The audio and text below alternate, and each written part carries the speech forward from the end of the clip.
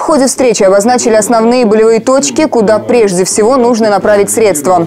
Например, доступная среда. Определили около сотни улиц, где ее остро не хватает, а на 14 отсутствует тротуар.